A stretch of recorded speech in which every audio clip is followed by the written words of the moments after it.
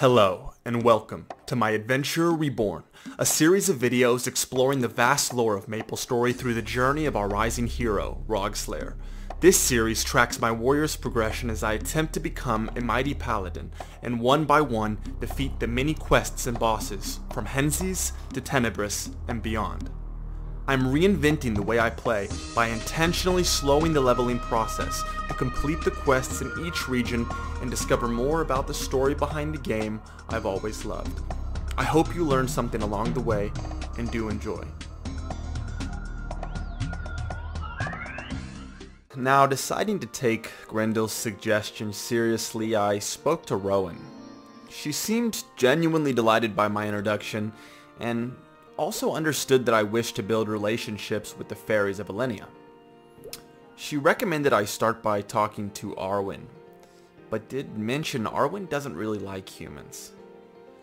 She does, however, seem to have a sweet tooth for oranges. It seems like the humans, fairies are also susceptible to bribery.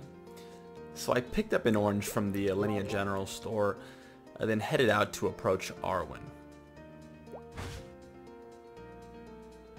Now you'll see Arwen is initially hesitant, but the second she sees that orange, she's immediately won over. And is even more delighted to find out Rowan was the fairy who sent you. She actually claims this means it's not a bribe, but a gift. She then recommends I introduce myself to Wing.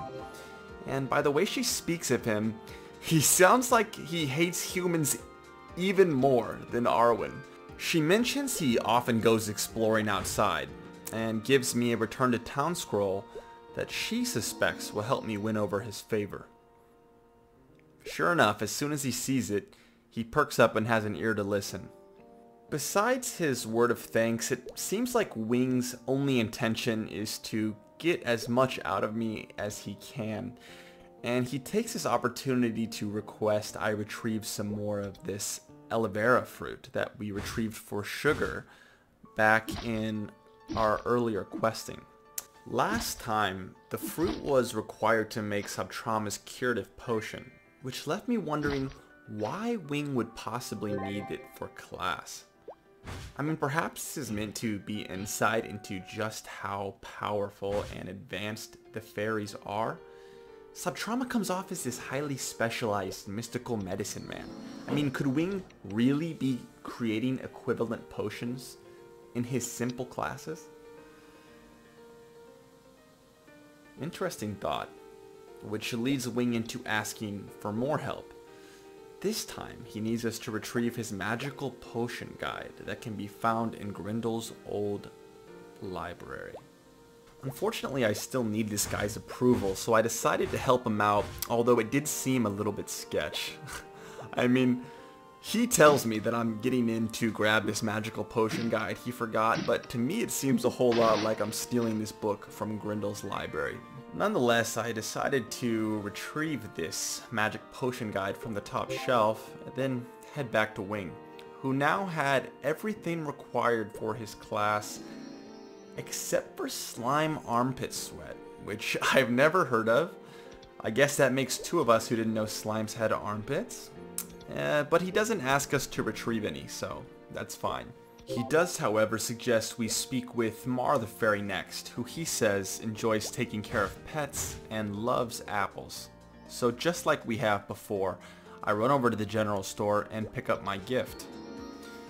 Mar's actually already heard of me and seems genuinely impressed that we were able to make friends with Wing. I guess his irrational hatred towards humans was a lot more serious than he let off. But given that we've made allies with basically every fairy in Ellinia, Grendel seems pretty pleased and next recommends we go start training with his apprentice, Fanzy. So now I'm completely confused with Fanzy because I thought Mar the fairy was his master, but it almost kind of sounds like it's Grendel.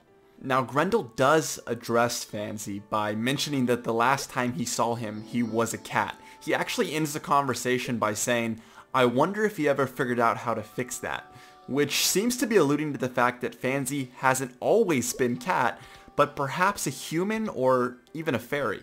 Fanzy tells me to prepare for the hardest core training I could ever get.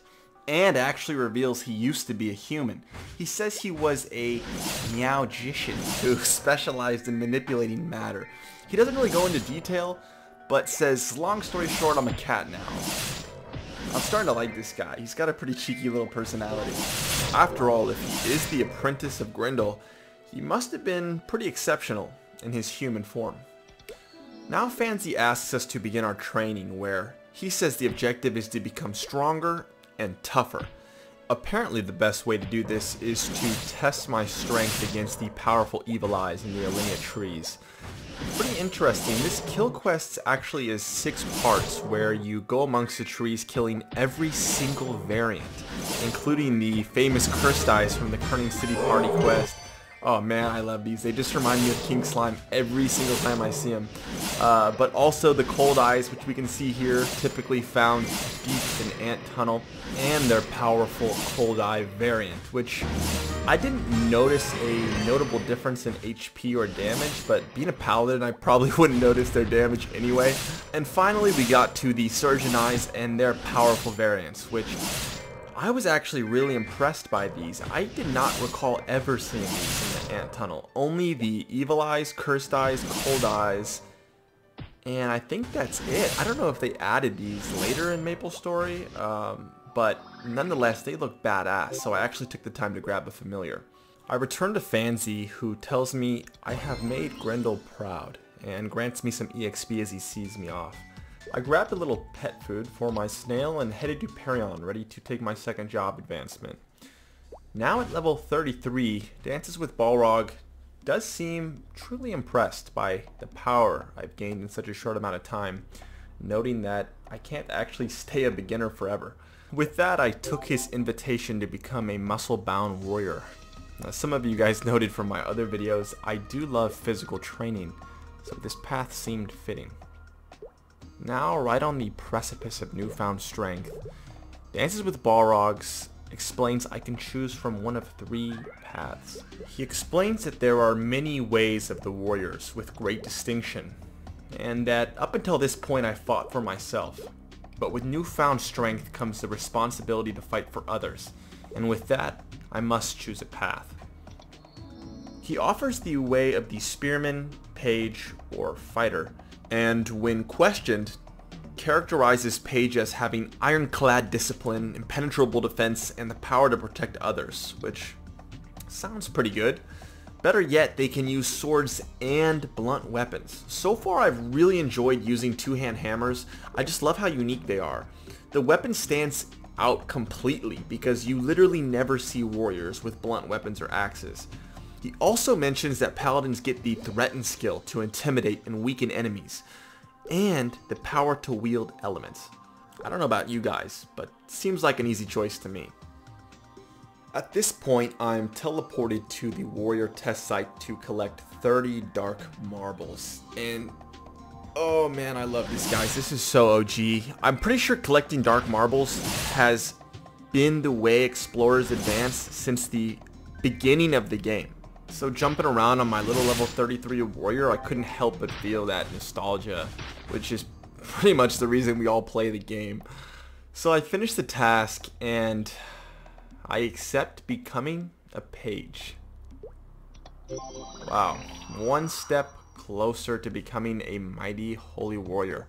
I was actually geeking out after this for like 30 minutes just reading the skill, uh, the uh, skill descriptions.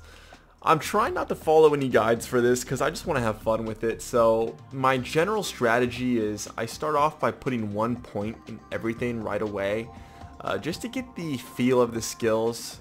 And then I slowly upgrade my masteries and attack defense multipliers followed by the main attacks. Given that I spend most of my time questing anyway, I really don't need the efficiency of maxing attacks first. And uh, with that, I got my Frost and Fire hammers. Now, more for aesthetics than anything, I pick up a new level 30 weapon, enhance it, and then decide to head back to Ellinia, where I remember I had business to finish. This time, actually accepting Hersha's quest, I find myself on the other side of Blackwing spy allegations from the young boy in Ellinia. He tells me he requires my help to retrieve these pink flowers uh, in order to help stop a great conspiracy going on in Ellinia. Without many more details, he requires me to get the pink anthurium flowers and tells me I can find them in Shane's garden. Shane is less than eager to share his herbs for free, but does offer to let me in for 3,400 mesos. And with that, my first jump quest commenced. At first, it was pretty easy. Uh, I had a good attitude. I was just going up and up until I was met with a few falls. It was at this point I actually got pretty frustrated and was starting to believe that my pet and familiar were making it harder for me to focus on the platforms, and so I decided to take them off. If you guys did notice that Tao Tao familiar, I got it from a event on a different character and thought it might still have life force, so I transferred it over but it ended up dying the second I tried to use it anyway. So I finally reached the top to find two monkeys actually throwing bananas in my path. But not to worry, as soon as I met the top, I was met with another stage. This time, quite different. It included these platforms with coil-loaded spear traps and some pesky thorns that knocked me off at every opportunity. Despite what it may seem, I actually really do enjoy these jump quests. It's just such an old and original part of the game and was the great equalizer among all the classes that were not equal in movement abilities. I do believe it was only warriors and archers that were the odd man out as far as speed. At least magicians did have their teleport and haste was available for thieves including Flash Jump for the Night Lords. Nonetheless, it's pretty funny uh, when you get knocked off these vines, and it only takes a couple minutes of patience and observing patterns to get by almost every obstacle encountered amongst these jump quests. Luckily for me, this first part only took around 17 minutes, and with that I'd reached the top, retrieving my pink anthurium flowers as a reward. Now I guess apparently at the time I must have thought it took longer than that because, as you can see, I was quite frustrated, uh, but happy to be done. Having thought the worst was behind me, I spoke to Hersha, who says, take this scroll, my brother made this a while back. But seeing as it's reboot, I only got fame and trade as reward. Nonetheless, I was glad to be done. Now, it only took me a short second to realize that my time in the Force of Endurance was not over. Hersha has this nervous breakdown because he thinks he's actually dying and requires that we go get a double ginseng root from, guess where, Shane's garden. So I put on my good face and headed back to Shane who would require yet another deposit, this time 6,800 mesos. And that's where we're going to leave it. Until next episode. And that concludes episode 3. If you learned anything new or interested in this video, please give this video the thumbs up. And if you enjoyed, subscribe and consider recommending it to a Mapler you know so they can enjoy it too. Quite an interesting bunch the Fairies of Ellinia are. Let me know if you think they or our allies in Perion will be of more importance in the future. And until next time, happy mapling.